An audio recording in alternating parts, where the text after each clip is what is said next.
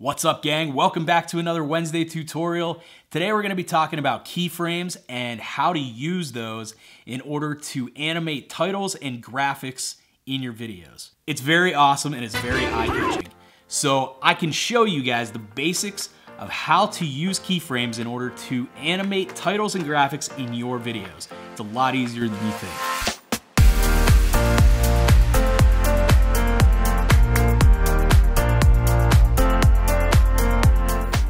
First off, let's talk about what keyframes are. It's almost like a road sign because it's like, you know, it tells your footage when to start, when to stop, where to go. You're basically assigning movement to different values of your video, whether it's position or scale or rotation or anything like that. So if you guys saw Monday's video where I used some graphic animation to interact with like a virtual setting and I was like swiping the screens off. It was really cool looking and the only thing that I really used to do that were keyframes. Now I went ahead and I designed those pages. I got screen grabs from epidemicsound.com I took those into Photoshop and I just manipulated them to look kind of a virtual atmosphere of some sort. Once you understand the basics, you can take those basics and start to use them and build on your skills to really up your game, you know, with bigger and bigger ideas. So let's go ahead, we're gonna get into After Effects and I'm gonna show you guys how to use keyframes in order to animate some graphics and titles. All right, guys, so we went ahead, we opened up After Effects. We're just going to choose New Project, which I already did. Uh, we're going to come over here, we're going to hit New Composition. So what we're going to do is start off super easy. We're just going to go ahead and grab some text. And we're going to write, hello, please animate me. So what we're going to do first is we are going to click down here on our in our timeline, and we're going to hit the letter P as in position, and we're going to hit shift, and we're going to hit S. So that will bring up position and scale. Simply enough, here we go. We're going to hit this little stopwatch right here, and that is going to add this little diamond. Now, this little diamond right here is called a keyframe. All right, and as soon as I hit that, it recorded this value right here. So the keyframe is actually set for this position right here. What we need to do is take and move that off screen. So you saw that these numbers right here changed. And now this keyframe recognizes these measurements. So we are going to go ahead, I don't know, a few frames in there, maybe 12 frames and we're going to take and we're going to bring that right into the middle of the screen. And then all you have to do is just play your timeline. There you go. We just animated our text. Super easy. So maybe we want to make this kind of grow a little bit.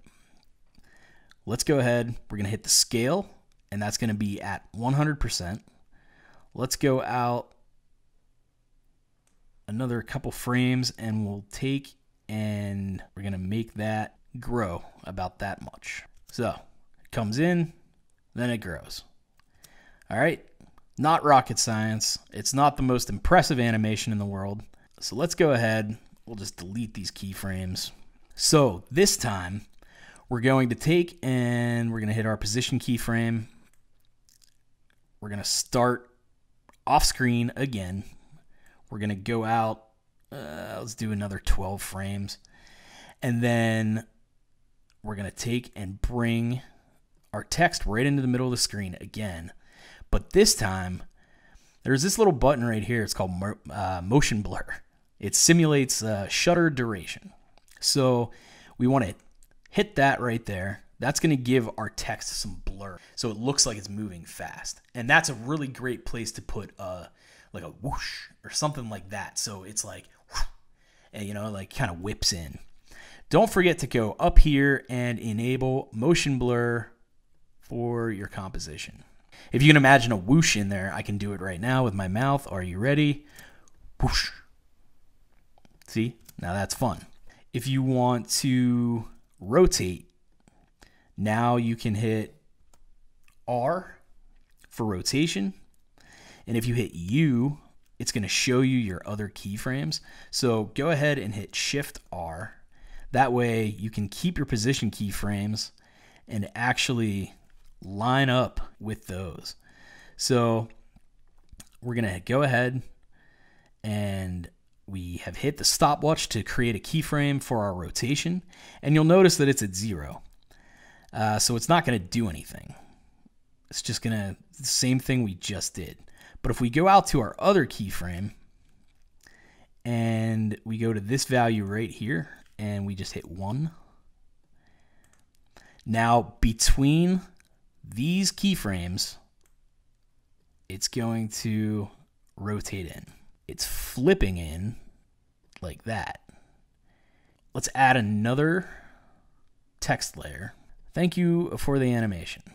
So what we're going to do with this one is actually almost stack it right there. I know that it's like really hard to see, so we're just going to go ahead and take the eyeball off of it. Now, let's go ahead and we're going to hit the U button so we can see all of our keyframes again. And we're going to start right here as soon as it lands. Let's move ahead eight frames. And we're going to hit Shift S. That'll bring up our scale. We're going to hit our stopwatch to make a keyframe. And we really want this to fly out of screen towards us at a high rate of speed. So we're going to do something like that. Now, it's not going to go, we're not going to go completely behind it because we are in a two dimensional sequence. You can create inside of a three dimensional sequence, but for this, we're just going to kind of fake it. So we have gone ahead and this is what our animation looks like as of right now. So it flies out at us very fast. Let's go ahead and actually, we're going to pull that keyframe out a little bit just so it is a little slower. Now inside of here, we want to line up our opacity, which hit Shift T will give us our opacity value. The stopwatch, once again, we're lined up over here with our keyframes. We're going to go out, and if you hold Shift while you drag, it'll actually snap to other keyframes if you want to keep everything lined up. And we're just going to go ahead and we're going to pull the opacity down. So it looks like when it comes out, it's flying at us and then flies past us. All right. Now, as we just made that, what we want to do is start on our second text way back here, and we can blow this up a tiny bit. I'm going to go out few frames, and we're going to click up here, and we're going to do the same thing. We're going to hit scale. We're going to hit Shift P to get our position up. Shift T to get our opacity. And we don't really need any rotation on this one. So as we're like halfway through our transition on the first text, like zooming towards the screen, we're going to go ahead and we're going to lay down a scale keyframe for our second set of text. With this keyframe, we're going to take the scale down. You can just hit zero.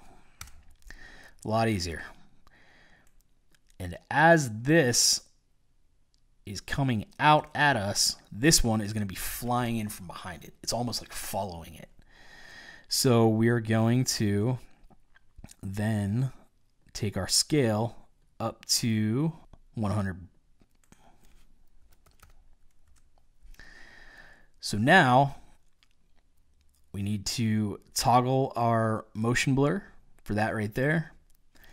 And now this is what things look like. So as you saw, as the first text layer, please animate me, is flying out at us. The second one is flying in from the background, almost from space. It's like whoosh, whoosh. If you right click on a keyframe, you can go down to keyframe assistant and you can go into like ease out, easy ease out, or ease in. It'll just be more smooth. That's pretty much that right there. So that's the basics of keyframing. It really will up your game when you're making videos. When people are looking at your channel and they come to see a video of yours and they see some really cool special effects like this, you know, that, that amps them up. They're like, oh man, this guy knows what he's doing as far as video.